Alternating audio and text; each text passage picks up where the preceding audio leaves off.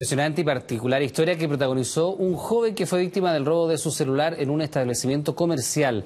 Dispuesto a encontrar al delincuente, inició su propia investigación, la cual le arrojó resultados en tiempo récord, dejando al descubierto a este singular ladrón. Acabo de encontrar a la señora que te robó el celular, mi amor. Tal cual, así de directo y decidido a concretar una impensada tarea, recuperar un celular robado. Ahí está, mira, esa, la voy a encarar ahora, preciosa. La voy a encarar, cagó, cagó esa señora.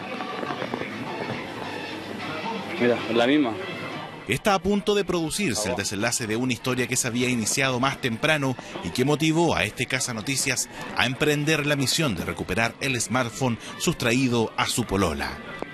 Se encontraban de compras en un establecimiento comercial del centro de Santiago, como se aprecia en esta grabación de una cámara de seguridad.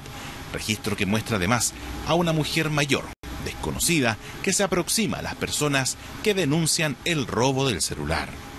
Se sienta al lado de nosotros mientras mi bolola me mostraba sus cosas, sus prendas, su bikini, cositas que estaba comprando.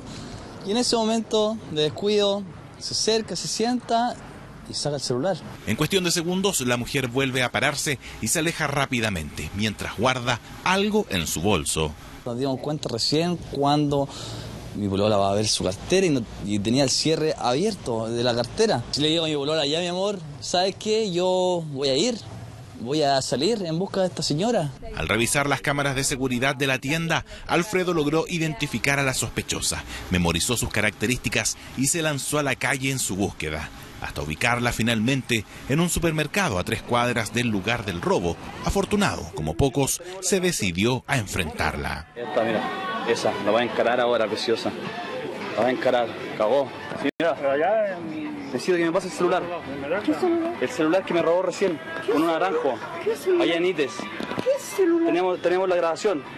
Guardia, guardia, Vamos a buscar, venga, vamos, agarremos vamos, a la señora, vamos. ven, ven. Ven, por, no, por venga favor. para acá conmigo donde No, ve- venga, venga, venga, venga.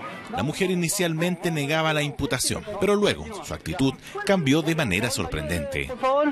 ¿Qué habla usted? No, ayúdeme, por favor, guardia, ayúdeme, por favor. Tengo la grabación de esta señora. ¿De qué señora? Me, me robó el celular. Necesito el celular. Necesito el celular. Vamos a buscarlo. No, no, lo necesito. Pásemelo ahora. Pásemelo Lo ahora. tengo acá, vamos a Ya, buscarlo. ¿pero dónde lo tiene? Venga, vamos. ¿Me la va a por las buenas o me la pasa por las malas? Le digo, voy a llamar a los carabineros, ¿y me entiendes? Y todo este asunto. Y, y la señora me dice, ya, yo te lo paso. Y me dice, ya, acompáñame, lo tengo por aquí, lo encargué, me dice. Suéltame la No, estáis loca, weón. No estoy ni ahí. Toma, vos. No, no te vas a soltar. Ya con el reconocimiento del delito, este hombre no se despega de la mujer, siguiéndola desde el supermercado hasta una galería comercial ubicada a algunas cuadras. No, carabinero. No, ¿por Te dónde? lo doy siempre sin cadena. Ya, ¿a dónde está? Piola, Ya, piola. piola los dos. Vamos, con los dos. Ya, vamos, sí. Piola. ¿Por qué sabe algo medio dulce? Decía. La, la, la, la- Llame la- como abrazado, piola nomás. Ya, ya, piola, sí, piola. vaya. La inusual delincuente llega hasta un local especializado en el reseteo y desbloqueo de teléfonos. Mira, aquí está. Bien, porque está grabando. ¿Cierto? Deja de grabar. Ya. Ya toma. Ahí está. Ya, chao. Ya estamos. Gracias. Chao. Chao. Saludos.